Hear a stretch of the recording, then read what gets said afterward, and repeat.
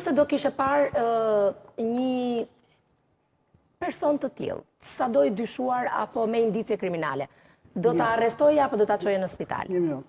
Le të diskutojmë për veprimet e patrullës së policisë. Dy punonjës të policisë që janë në terren. Mos marrim në analizë policinë. as agjencinë e mbikëqyrjes policore. Qoftë se do flasim për institucionin, atëherë e lëmë këtë dhe bëjmë. Do analizojmë veprimet e patrullës së policisë. Pastaj ngjitemi lart te politika, te drejtuesit lart. Vijmë, do të vijmë dhe aty, logikisht. Te patrulla e policisë në gjykimin tim, Dyshimi i tyre ka qenë i bazuar dhe s'ka askush të drejtë që pse dyshuan. Dakord. Do japin shpjegime ata, se po hetohet çështja. Në momentin që ai vrapon, personi i dyshuar, shtohen tepër dyshime. Dhe me të drejtë patrulla vrapon, e kap.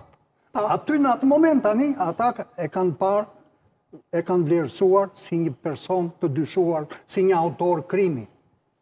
Nuk e kanë trajtuar një njeri të pafuqishëm që kërkon ndihmë mjekësore. Po dhe autor krimi qoftë, me gjithë prezumimin e pafajësisë. Jo, jo, autor krimi. A i duhet ndihma, ndihma e shpejtë?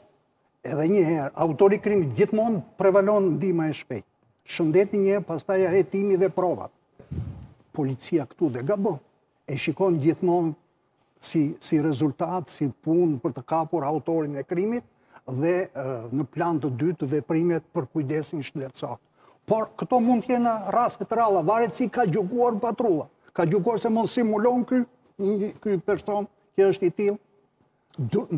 Mbase mbase e kanë gjykuar me këtë mendim autorin e kapur.